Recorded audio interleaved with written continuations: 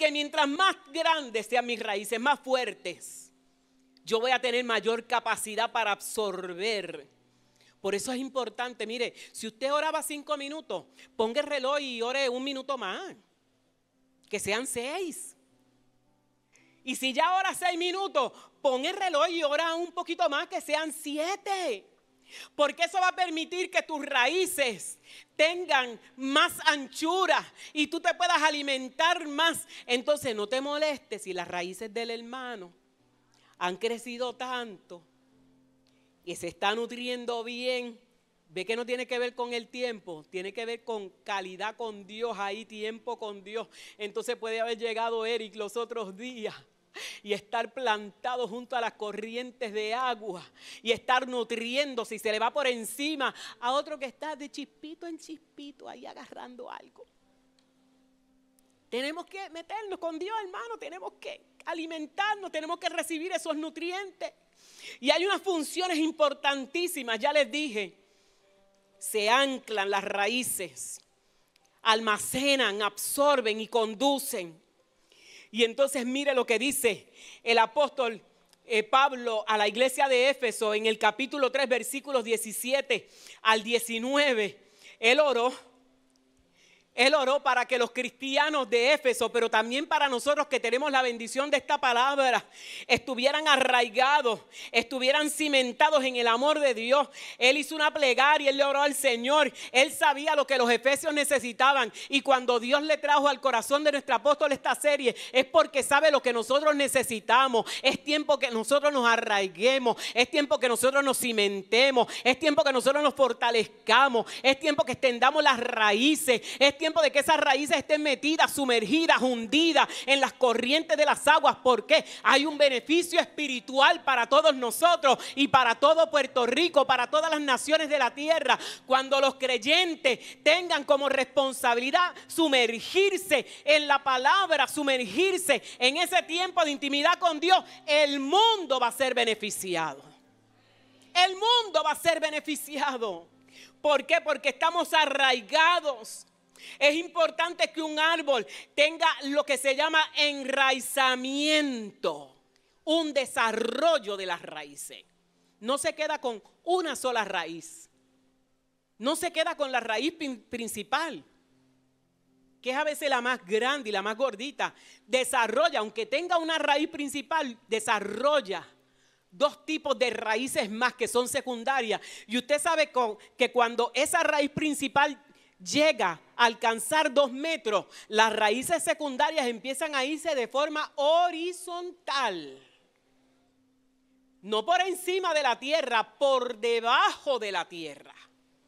Por eso cuando viene la tormenta, cuando viene el viento fuerte, cuando viene la dificultad, usted ve que el árbol puede moverse, ese tronco tambalearse de lado a lado, pero cuando se va la tempestad, cuando se va el viento fuerte, se mantiene en su lugar porque tiene raíces fuertes que lo sostienen. La vida del creyente es así. Nosotros no estamos exentos que nos pasen cosas difíciles. Y por eso es que usted debe de meterse con Dios todos los días y cada día un poquito más un poquito más. La Biblia dice que el que esté limpio, que se limpie más. Tenemos que santificarnos cada día más. Las cosas se van a poner más difíciles. A nivel mundial, las cosas se van a poner más difíciles. Ya por ahí van a hacer una parada puertorriqueña y, no hay ningún problema en que la hagan. Pero ya vio la primera persona que van a, a felicitar. Se lo dejo de asignación para que lo busque. Yo me quedo, yo dije, tantas cosas que hay que celebrar en este país buenas, maravillosas, gente linda que aporta tanto. Entonces, ahí ya usted sabe cuál es la intención del corazón. Son cosas increíbles. Dice la escritura en Efesios capítulo 3, para que habite Cristo por la fe en vuestros corazones, a fin de que arraigados y cimentados en amor, hay otra versión que dice que su amor sea la raíz y el cimiento de su vida. Seamos plenamente capaces de comprender con todos los santos cuál sea la anchura, la longitud, la profundidad y la altura. y de conocer el amor de Cristo que excede a todo conocimiento, para que seáis llenos de toda la plenitud de Dios. Solamente alguien que tiene raíces en la palabra va a poder conocer el amor de Cristo en todas sus dimensiones y manifestaciones. Fíjese de lo que mucha gente se está perdiendo por no tener raíces profundas no están disfrutando la anchura del amor de Dios. No están disfrutando la profundidad del amor de Dios. No están disfrutando la altura del amor de Dios. Todo porque no tienen raíces fuertes. Todo porque no están arraigados. Todo porque no están conectados a una fuente de agua como es la palabra. Así que a medida que nosotros vamos comprendiendo las funciones importantes de tener esas raíces espirituales, vamos a ver lo, trascendental de estar arraigados de estar cimentados. Esa es la oración del apóstol. ¿Y usted sabe por qué usted, él usó esa expresión? Porque era lo más que conocía la gente. Cuando usted ve a Jesús trayendo enseñanzas en las parábolas, está usando elementos cotidianos lo que era común en aquel tiempo. Y hay una parábola hermosa, que es la parábola del sembrador, que está en, tres, en los tres evangelios sinópticos. Y cuando usted ve esa, esa, esa parábola de la semilla y el sembrador que se encuentra en Mateo 13:5 o en Marcos 4:5 o en Lucas 8:6, mira lo que dice aquí. Y otra parte cayó en pedregales, donde no había mucha tierra, y brotó rápidamente porque la tierra no era profunda. Pero cuando salió el sol se quemó y se secó porque no tenía raíz. Cuando los discípulos oyen esta parábola dicen, Señor, no, no tenemos entendimiento. ¿Qué es lo que tú quieres decir con esa parábola? Y él les explicó que ese tipo de semilla sobre la tierra rocosa representa a los que oyen el mensaje y lo reciben con alegría, pero como no tienen raíces profundas. Versículo 13 de Lucas 8, como no tienen raíces profundas, creen por un tiempo y luego se apartan cuando llegan las pruebas. ¿No le ha pasado a usted que ha visto gente que empezó en el Evangelio, pero de momento usted no los ve? No desarrollaron raíces profundas. Entonces le echan la culpa a aquel, le echan la culpa al otro, le echan la culpa a este mismo diablo. Pero el diablo no tiene culpa, ni aquel ni el otro. Eres tú el responsable de que tus raíces tú las pongas junto a las corrientes de agua y tú las hagas crecer alimentándote de la palabra. A veces la gente se emociona cuando oye la palabra, pero esto no es asunto de emocionarse. A veces la gente se, bueno, imagínese usted, escuchan una palabra y se, se gozan, pero esto no es asunto de gozarse por lo que escuchaste, es asunto de ponerlo por obra es asunto de ponerlo por obra. Mire cuánta palabra buena nosotros hemos escuchado durante, vamos a poner solamente este mes, este mes. Este mes nada más ha sido una exquisitez. Escuchar la palabra que ha salido de los labios de nuestro apóstol. ¿Qué ha hecho la gente con esa palabra? Porque la idea no es que se suelten una palabra. Si nos vamos a cómo comenzó el año, esto ha sido una maravilla. Y por ahí viene el cap que usted sabe que, mire, no, eso es manjar. Lo importante no es que te suelten una palabra, es que tú haces con la palabra que tú recibes. Mire, yo la, como le dije la otra vez, yo la agarro y yo la pongo en mi corazón. Aunque de momento no le encuentre un uso particular para la situación que estoy viviendo, yo la tomo y la guardo en el corazón, porque va a llegar un momento donde la voy a necesitar. Va a llegar un momento donde la prueba va a venir. Va a llegar un momento donde la enfermedad va a llegar. Y usted, ay, cruz, cruz, no, hermano, va a llegar la prueba.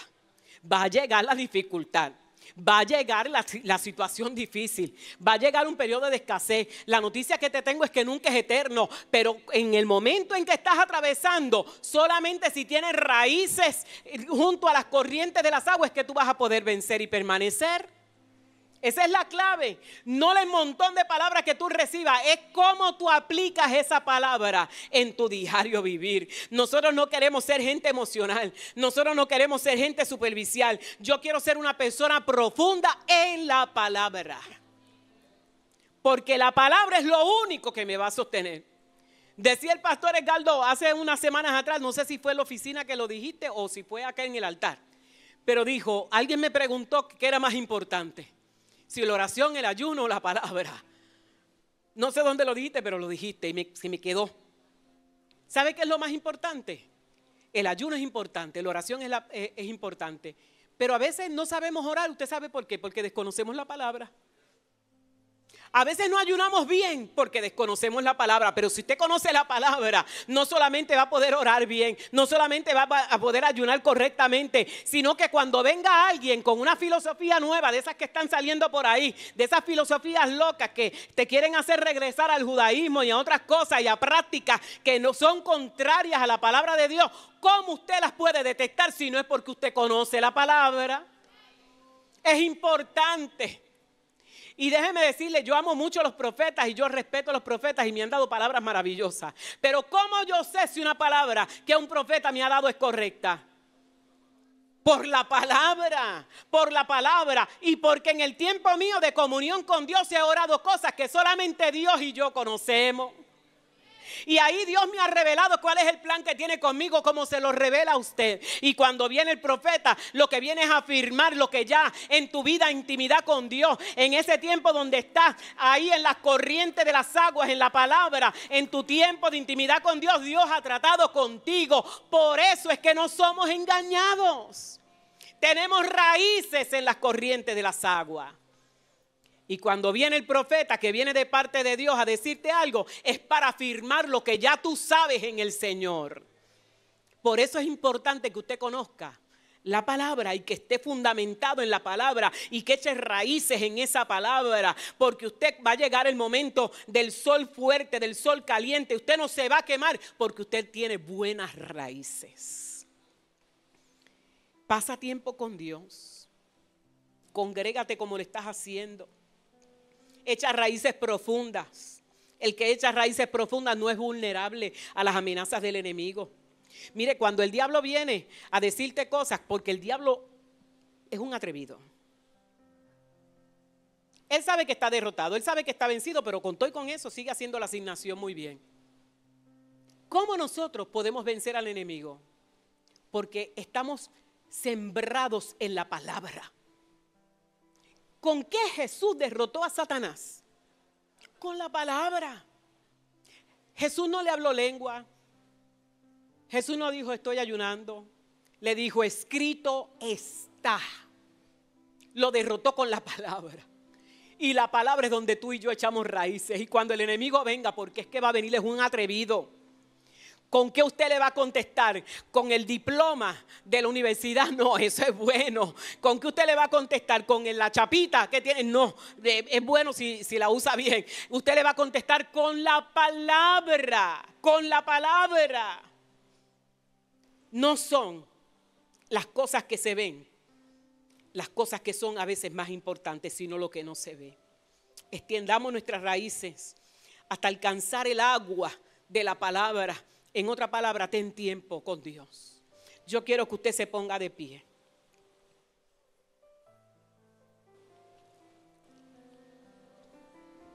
La solidez nuestra no está en otro lugar que no, no sea la palabra. Y yo quiero leerle los versículos anteriores. En Jeremías 17, el versículo 5 se lo quiero leer en esta versión, nueva traducción viviente. Esto dice el Señor. Malditos son los que ponen su confianza en simples seres humanos que se apoyan en la fuerza humana y apartan el corazón del Señor. Son como los arbustos raquíticos del desierto. ¿A qué arbusto se refiere? Al tamo. El tamo no tiene raíces. El tamo, cuando usted va por el desierto, el viento lo empuja y eso, mire, rueda y cae en cualquier cantidad de lugares. Usted ve uno y usted no sabe de, váyase a saber de dónde viene. La primera vez que fui a Arizona tuve la oportunidad de verlo. Cruzando una avenida, yo, Dios mío, pero muchas, muchas bolitas de esas. Impresionante. Son como el tamo que arrebata el viento. ¿Se acuerda de ese texto bíblico? Pero Dios dice, el que pone su confianza en los, en los hombres es como un árbol, arbusto raquítico del desierto, sin esperanza para el futuro. Vivirán en lugares desolados, en tierra despoblada y salada. Ah, pero empieza el versículo 7. Pero benditos son los que confían en el Señor y han hecho que el Señor sea su esperanza y confianza. Esos son los que son como árboles plantados junto a la ribera de un río. Los que confían en el Señor son como árboles plantados junto a la ribera de un río, con raíces que se hunden en las aguas. Qué hermoso, qué refrescante. Usted ha ido a un río y ha metido los piecitos así, en esas agüitas que corren. ¿Y usted cómo se siente? Pues imagínese su vida metida en la palabra del Señor, siendo refrescado. Y dice, a esos árboles no les afecta el calor. ¿Ve que el calor va a venir? A esos árboles no tienen temor de los largos meses de sequía. Ve que la sequía va a venir. Sus hojas estarán siempre verdes y nunca dejarán de producir fruto. No seamos arbustos raquíticos del desierto cuando podemos ser árboles plantados junto a corrientes de aguas. Solamente al que, que está con sus raíces hundidas en la palabra, en las corrientes de agua, ya sabe, las corrientes de agua son la palabra. Solamente aquel que tiene sus raíces hundidas en las corrientes de la palabra, cuando venga la sequía no lo va a sentir cuando venga el calor, no lo va a sentir la gente. ¡Qué calor! ¡Qué calor! Y usted, calor, ¿qué calor? Porque usted tiene los piecitos sumergidos en las corrientes de las aguas y usted no siente el calor. Y la gente sequía y se está marchitando. Y usted, ¿qué sequía? Usted frondoso, saludable, con mucho fruto, porque usted tiene su vida sembrada en las corrientes de las aguas. Qué importante Qué importante poder confiar en el Señor. Dice, el corazón humano es lo más engañoso que hay y extremadamente perverso. ¿Quién realmente sabe qué tan malo es? Pero yo el Señor investigo todos los corazones y examino las intenciones secretas y a todos les doy la debida recompensa según lo merecen sus acciones. Otra versión dice, según lo que hayan sembrado yo quiero invitarte a que levantes tus manos y tú examines qué tipo de raíz son las que tú tienes. Son esas raíces pequeñitas, como la hierba. Hoy hablaba con, con Pastor Ayaz. Le decía, ¿sabe por qué la hierba se seca tan rápido? Porque las raíces de la hierba son cortititas. Son bien cortititas. Y por eso usted tiene que estarlas regando continuamente en tiempo de calor. Yo no soy grama, yo no soy hierba. Yo soy árbol. Yo no quiero ser hierba. La hierba se seca rápido porque no tiene raíces fuertes. ¿Qué tipo de raíz tú tienes? ¿Han crecido esas raíces y están sembradas junto a corrientes de las aguas? ¿Estás plantado en el lugar donde Dios te sembró para dar fruto? Son preguntas que nos tenemos que hacer. Y contestándolas nosotros mismos, no nos la puede contestar nadie. Porque sabe que la sequía va a venir, el calor va a venir. Y no depende de nadie externo que tú permanezcas. No depende de nadie externo. Depende de tu relación con Dios. Cómo tú te has sembrado con Dios. Cómo tú te has alimentado de Dios. Cuán fuertes están tus raíces en el Señor. Mucha gente pensó que la crisis te iba a destruir. Mucha gente pensó que la enfermedad te iba a destruir. Mire, a mí, a mí cuando la muerte de Javi, mucha gente pensó que yo, yo, me iba a quitar. Mucha gente estaba preocupada. Y, y se acercaron a mí pensando, ¿qué yo voy a hacer? ¿Y qué yo voy a hacer? Seguir sirviendo, seguir adorando seguir celebrando, seguir haciendo lo que estoy haciendo. La gente te mira y piensa que la crisis esa que tú estás atravesando te va a matar. No, tú tienes raíces fuertes. Tú estás sembrado junto a corrientes de agua. Tú das tu fruto a tu tiempo, tu hoja no cae. ¿Qué, está pensando la gente? ¿Que te vas a desaparecer? No, tú tienes raíces fuertes. Tú no estás aquí sirviendo de balde. Tú no estás plantado de balde. Aquí te plantó el Señor y aquí vas a dar fruto y fruto en abundancia. ¿Qué va a pasar cuando la crisis llegue? Ay, hermana, sacúdete y sigue alabando. Sacúdete y sigue celebrando. Sacúdete y sigue gozándote. Sacúdete y sigue sirviendo al Señor. ¿Cómo yo voy? A desarraigarme por una situación difícil como si fuera la única que le ha pasado. No mi hermana, no mi hermano. No estamos pegados con chicle en el piso, jamás. Somos árboles plantados. Usted es árbol plantado. Usted tiene raíces fuertes para cuando llegue el momento de la dificultad. Y yo quiero orar por ti. Yo quiero que tú levantes tu mano y repitas esta oración conmigo.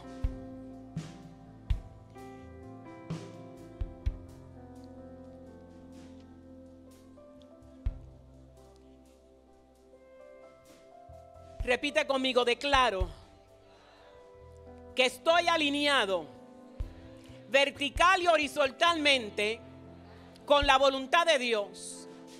La sangre del pacto eterno de Jesucristo me cubre. Me ha hecho perfecto en toda buena obra, según Hebreos 13:21.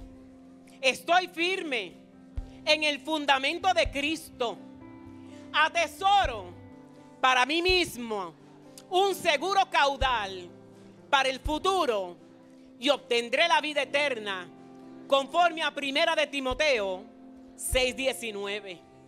No seré llevada de aquí para allá porque a diario estoy madurando en las cosas de Dios conforme a Efesios 4:14. Vivo en la revelación de Dios. Y esa revelación está activando señales, está activando maravillas, está activando milagros a mi alrededor constantemente. Ciertamente, el bien y la misericordia me seguirán todos los días de mi vida conforme al Salmo 23.6 porque soy hijo de Dios, permaneceré en el camino y no me desviaré, sino que me afirmaré y echaré raíces fuertes. Ninguna arma forjada podrá prosperar contra mí. Me propongo caminar cada día en mi destino para alcanzar mi propósito eterno. Fortaleceré mis estacas porque me fortalezco en el Señor y en el poder de su fuerza, conforme a Efesios 6:10. Declaro que estoy plantado en buen terreno y que daré fruto en todo tiempo. Las cuerdas me cayeron en lugares deleitosos y la heredad que me ha tocado es hermosa. Me comprometo a vivir arraigado y cimentado en amor y que seré capaz de comprender con todos los santos el amor de Cristo que sobrepasa todo conocimiento y que seré lleno, seré lleno, seré lleno hasta la medida de toda la plenitud de Dios en Cristo Jesús. Alguien que grite amén, alguien que grite amén. Que grite amén. Es importante que si usted no está plantado junto a corrientes de agua, si usted no le ha entregado su vida a Jesús, es la única manera de echar raíces. Usted pueda correr al altar y decir, yo quiero recibir a Jesús como mi Señor y mi Salvador. El llamado está abierto para todo aquel que desee ser plantado hoy en la casa de Dios, que desee hoy ser plantado en el buen terreno del reino, que desee hoy echar raíces profundas para que cuando llegue la dificultad, para que cuando llegue la enfermedad, para que cuando llegue la situación difícil, nada te pueda conmover, nada te pueda apartar del amor de Dios que es en Cristo Jesús. Si hay alguien que no le ha rendido su corazón a Dios, los que me ven a través de los medios o si alguna persona está aquí que vino por primera vez, si usted no le ha entregado su corazón a Jesús, usted no está plantado. El Padre no lo ha plantado. De la única manera que, que somos plantío de Dios, que somos árboles de Dios, es cuando le entregamos nuestro corazón a Jesús y dejamos que la palabra de Él nos alimente. Así que si hay alguien, iglesia, ore por si hay alguien que no se vaya ninguno sin salvación. Ninguno sin salvación. Oh, aleluya. Denle un aplauso a Jesús. Para dar fruto y fruto en abundancia. Si el pastor José me ayuda y si la evangelista Olga me ayuda con la, la joven para que repitan la oración de salvación. Denle un aplauso a Jesús. Denle un aplauso al Señor. Si alguien está haciendo esta oración a través de la televisión, a través de los medios, llame, deje su nombre 787-730-5880 y déle a la persona que está en los teléfonos su nombre, su dirección, su teléfono para que pueda, pueda darle seguimiento a la iglesia.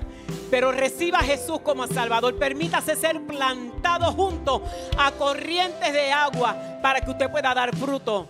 Para que usted pueda, cuando llegue el momento de dificultad, mantenerse firme.